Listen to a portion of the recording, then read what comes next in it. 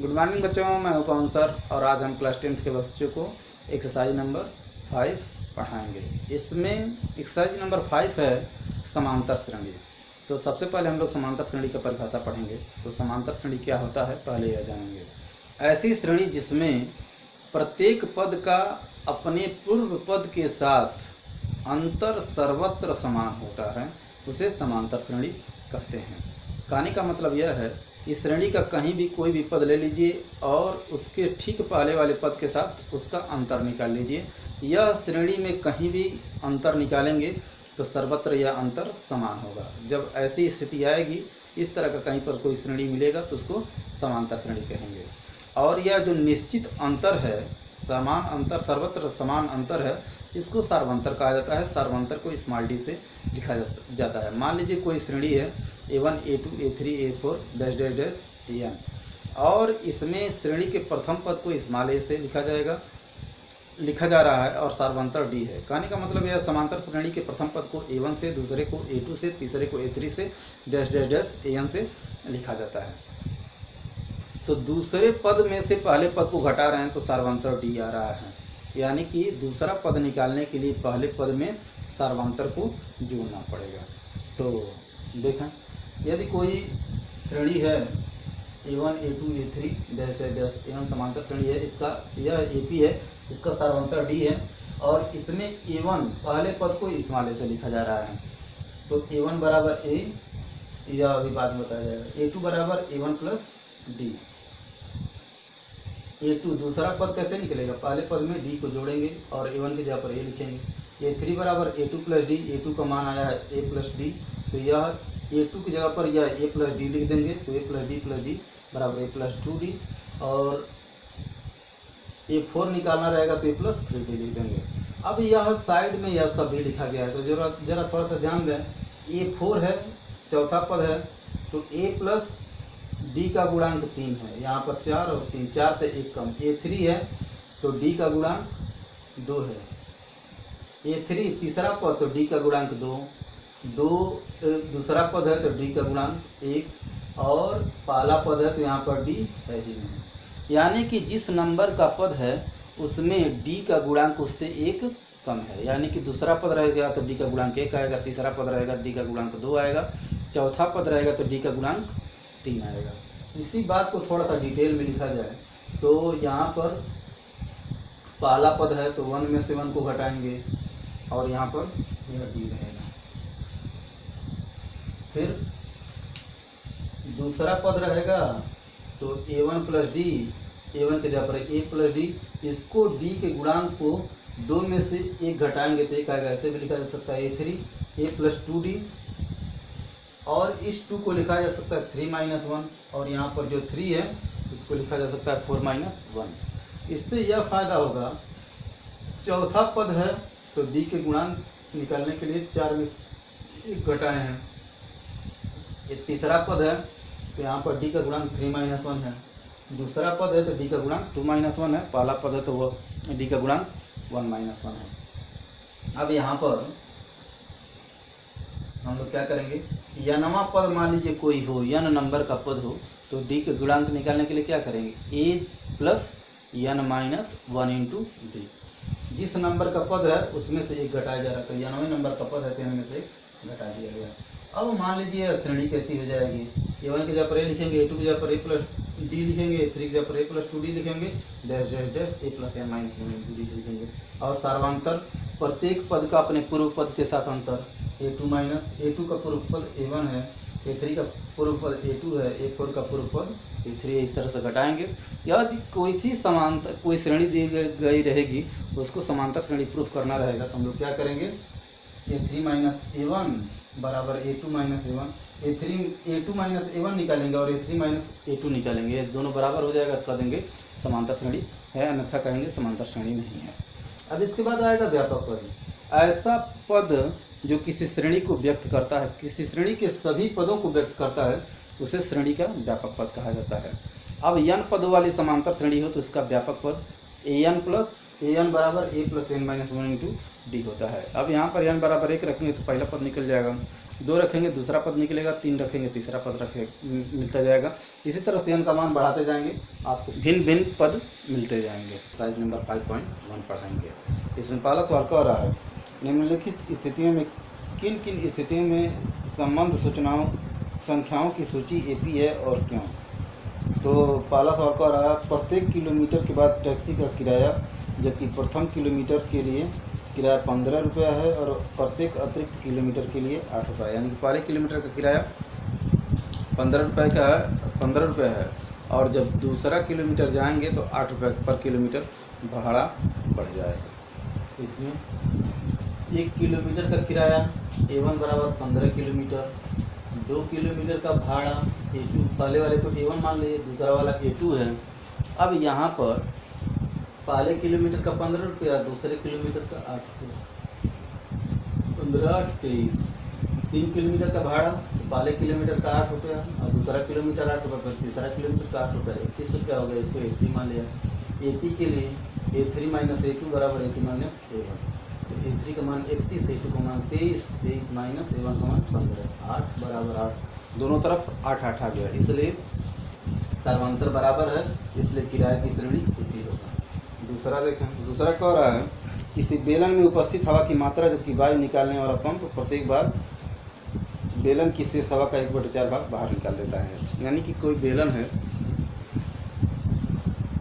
उसमें हवा निकालने वाला पंप लगा हुआ है। वह पंप क्या कर रहा है? जितना उस बर्तन में हवा है, बेलन में हवा है, उसका एक बटे चार भाग बाहर निकाल देता है। यदि मान लीजिए चार किलो हवा है तो एक बार में वह एक किलो हवा बाहर निकाल देगा। फिर अगली बार तीन किलो में से एक बटे चार बाहर निकालेगा।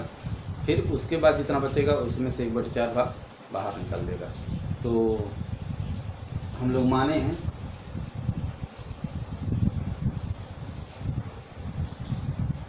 बेलन में हवा की मात्रा को कुछ मान लिया जाएगा। जैसे एक्स घन मात्रक मान रहे हैं। तो माने माना बेलन में हवा की मात्रा, हवा का आयतन एवं बराबर एक्स घन मात्रक तो पहली बार बाहर निकली हवा। कितना हवा बाहर निकलेगा? तो यक्स का एक बटे चार बराबर एक बटे चार। तो शेष हवा कितना बचेगा? जो शेष हवा बचेगा, उसी का एक बटे चार अगली बार निकलेगा बाहर। तो ए टू बराबर यक्स पहले था और एक बटे चार बाहर निकल गया तो इसको घटाएँगे तो थ्री एक्स बाई फोर हो जाएगा। फिर दूसरी बार बाहर निकली हवा। तो दूसरी बार में जो शेष हवा रहेगा, इसी का एक बटे चार निकलेगा। तो थ्री एक्स बाई फोर था, इसका एक बटे चार कर दीजिए। एक्स बाई सिक्सटीन हो गया, इसको ए थ्री मान लीजिए। यह इतना हवा बाहर निकला तो शेष कितना बचा? अब शेष हवा ए थ्री बराबर three x by four minus three x by sixteen अब क्या करें? घटा दें इसमें से। इसमें से इसको घटाएँगे तो नाइन एक्स बाई सिक्सटीन आ जाएगा। अब ए पी के लिए सर वो जो समांतर श्रेणी का कंडीशन होता है, उसको लगाते हैं। A three minus a two बराबर a two minus a one अब सबका मान रख करके घटाएँगे तो देख रहे हैं minus three x by sixteen और दूसरे साइड में आ रहा है माइनस एक्स बाई फोर दोनों बराबर नहीं है, इसलिए इसको कट कर देंगे, क्योंकि सर्वांतर बराबर नहीं है, इसलिए यह नहीं है। इसमें दो पोर्शन और बचा है, इसी तरह से आप लोग लगाएँगे। क्वेश्चन नंबर टू कह रहा है, दी हुई एपी के प्रथम चार पद ज्ञात कीजिए। कह रहा है कि समांतर श्रेणी का चार पद ज्ञात कीजिए, जिसके प्रथम पद और सर्वांतर दिए गए हैं।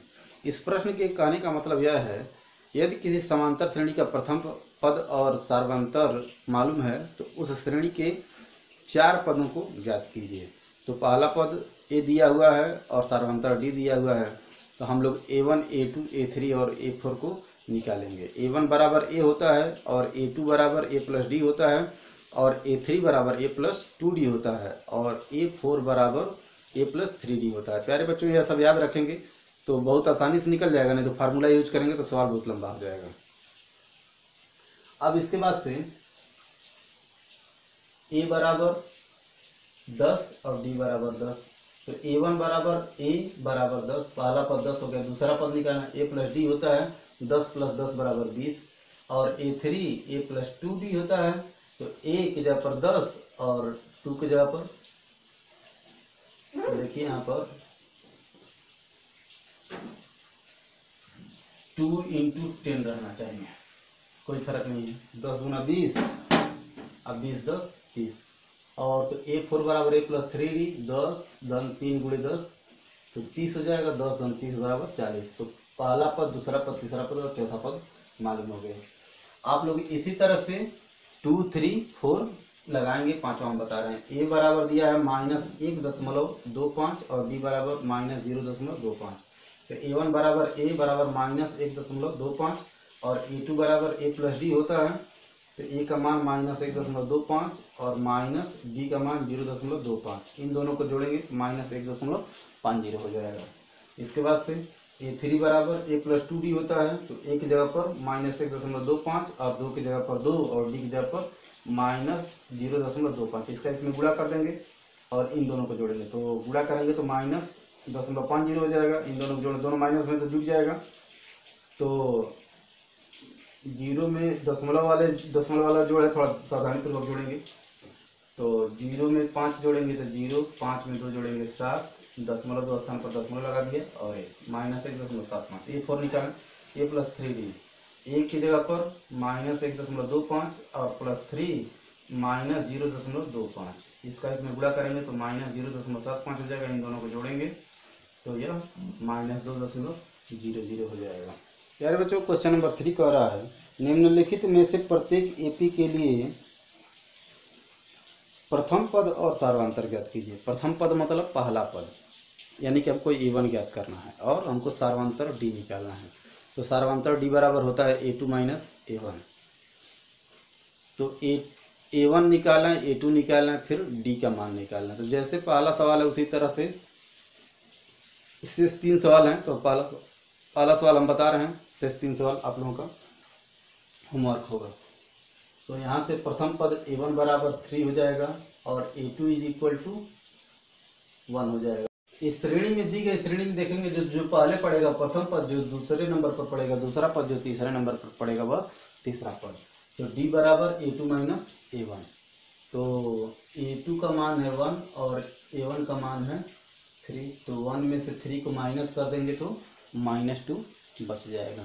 इसी तरह से इसमें शेष तीन प्रश्न और हैं, तीन पोर्सन और हैं, उन तीनों को आप लोग लगाएँगे। प्यारे बच्चों क्वेश्चन नंबर फोर देखते हैं। कह रहा निम्नलिखित में से कौन कौन एपी हैं? यदि कोई एपी है तो उसका सर्वांतर ज्ञात कीजिए और इसके तीन पद और ज्ञात कीजिए। यानी कि चार पद दिया है तो अगले तीन पद ज्ञात करना है। तो पहला सवाल देखते हैं। पहला क्वेश्चन दो, चार, आठ, सोलह। तो यहाँ से ए वन बराबर ए बराबर दो हो जाएगा ए टू बराबर चार हो जाएगा ए थ्री बराबर आठ हो जाएगा। तो ए पी के लिए ए पी का जो कंडीशन है, उसको चेक करें। सर्वंतर वाला root a three minus a two बराबर a two minus a one मान रखा आठ माइनस चार बराबर चार माइनस दो। तो आठ में चार गया चार और चार में जुड़ जाएगा दो। यह सर्वांतर बराबर नहीं है, इसलिए यह ए पी नहीं है। अब सब में चेक किया जाएगा। ये थोड़ा सा करड़ी वाला है, इसलिए पचवा बता रहे हैं। तो ए वन बराबर थ्री हो जाएगा। यहाँ से लिखें।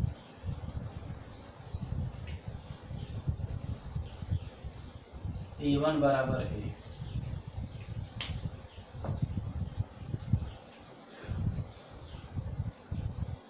ए वन बराबर ए बराबर तीन ए टू बराबर थ्री प्लस रूट टू और ए थ्री बराबर three plus two root two अब ए पी के लिए a three minus a two बराबर a two minus a one कर दें।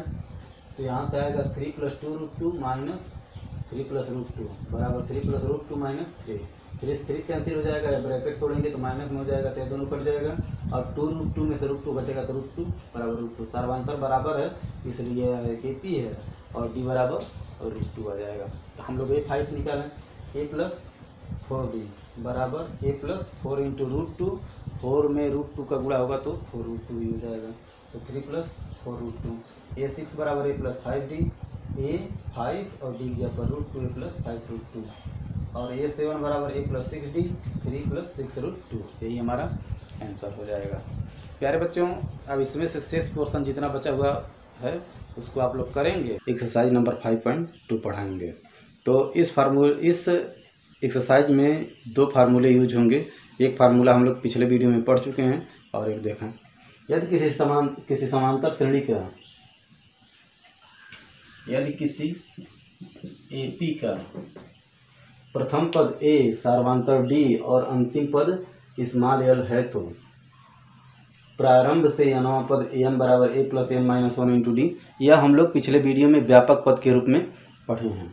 और इसी श्रेणी का यन अंत से यनवा पद निकालना हो तब क्या होगा? L l minus n minus one into d यह फार्मूला होता है। इन दोनों फार्मूलों की की सहायता से हम लोग exercise number five point two को हल करेंगे। तो आइए देखते हैं exercise number five point two प्यारे बच्चों exercise number five point two का पहला सवाल देखें इसमें कह रहा है, निम्नलिखित सारणी में रिक्त स्थानों को भरिए, जहाँ एपी का प्रथम पद ए सार्वंतर डी और यनवा पद ए एन है।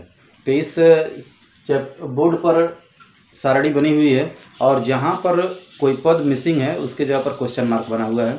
तो पहले सवाल में, पहला सवाल हम बता रहे हैं।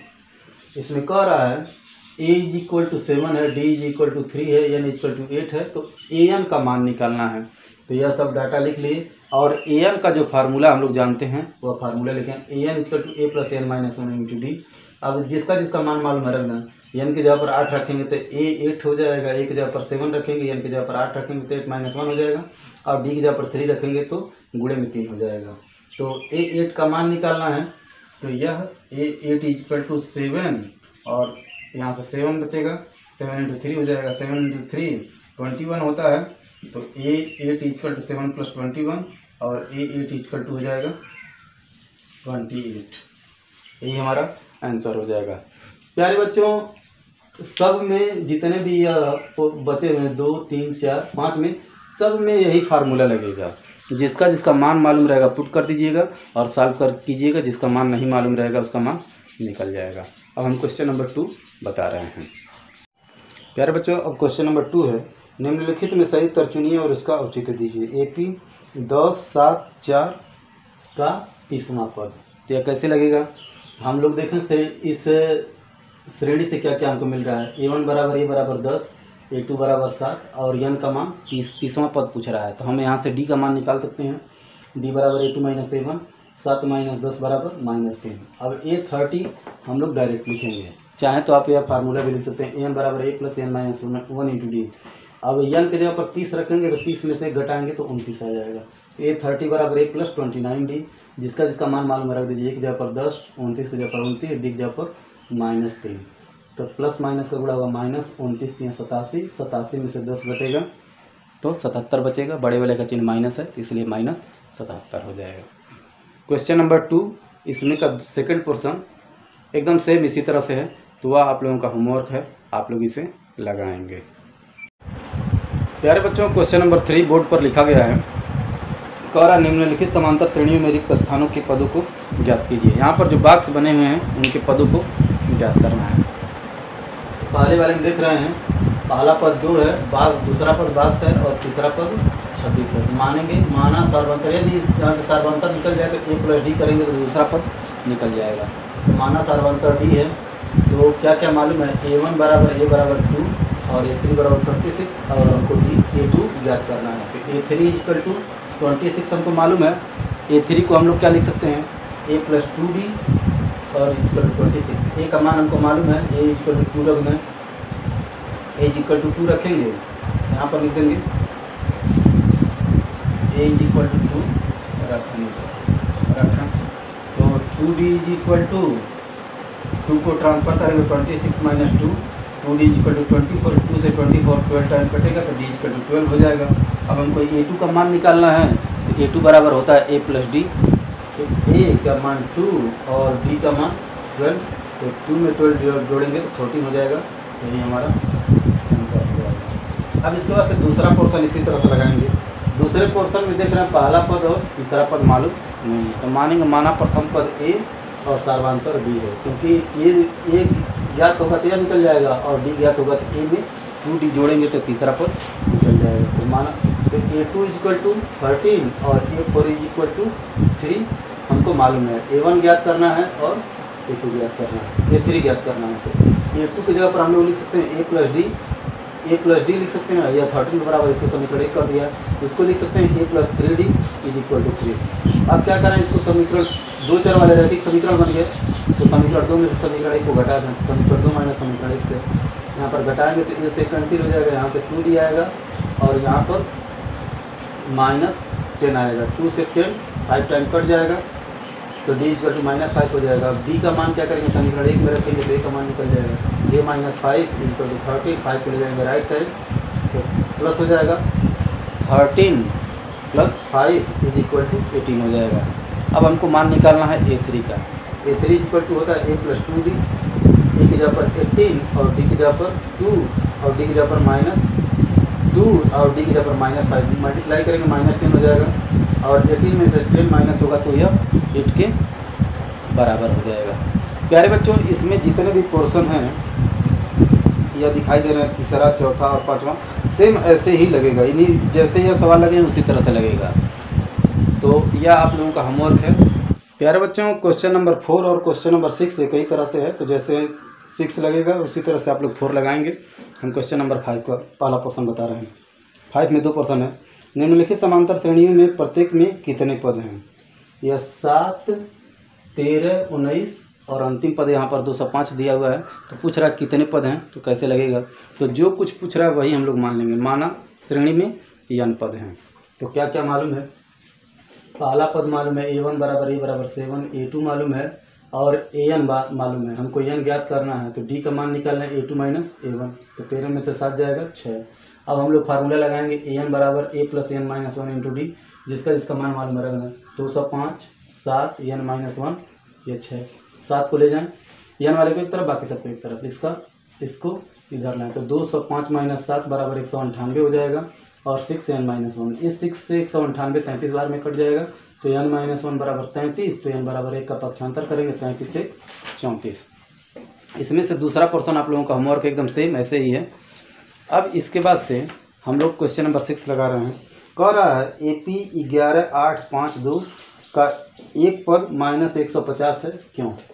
पूछ रहा है, क्यों यह पद है कि नहीं? इसके कहने का मतलब माइनस एक सौ पचास इसमें आएगा कि नहीं आएगा? तो हम लोग मान लेंगे, माना यनवा पद माइनस एक सौ पचास है। तो क्या क्या मालूम है? ए वन बराबर ए बराबर ग्यारह ए टू बराबर आठ ए एन बराबर माइनस एक सौ पचास और एन का मान निकालना है। तो डी हम लोग निकाल लेंगे a two minus a one आठ माइनस ग्यारह बराबर माइनस तीन ए एन बराबर a plus n minus one into d n का मान माइनस एक सौ पचास ए की जगह पर ग्यारह एन माइनस वन और डी की जगह पर माइनस थे अब क्या करें? एन माइनस वन वाले की उत्तर, बाकी सबके उत्तर. तो ग्यारह को ले आए लेफ़्ट साइड में माइनस एक सौ पचास माइनस ग्यारह, बराबर minus three n minus one इन दोनों को माइनस में ऐड कर देंगे माइनस एक सौ इकसठ, एक सौ इकसठ हो जाएगा माइनस माइनस कट जाएगा. एन का मान निकालना है या कटेगा नहीं, इसलिए इसे थ्री का अंदर गुड़ा कर दें। तो थ्री एन माइनस थ्री हो जाएगा एन वाले की तरफ़, बाकी सब एक तरफ़। इसको लाएँगे लेफ़्ट साइड तो प्लस हो जाएगा। एक सौ चौंसठ थ्री एन बराबर एक सौ चौंसठ तो एन बराबर एक सौ चौंसठ बटा तीन। अब यह एन का मान निकालेंगे यहाँ से तो चौवन से दो बटे तीन। यह पदों की संख्या है, भिन्नात्मक नहीं हो सकता है। इसलिए यन का मान चौवन से दो बटे तीन नहीं होगा। अब यन, यनवा पद तो इस श्रेणी में होगा, लेकिन उसका मान माइनस एक सौ पचास नहीं होगा। तो यही लिखा गया था, इस श्रेणी में माइनस एक सौ पचास नहीं होगा। प्यारे बच्चों, इस प्रश्नावली के शेष प्रश्नों को हम लोग अगले वीडियो में पढ़ेंगे। Thanks, have a nice day.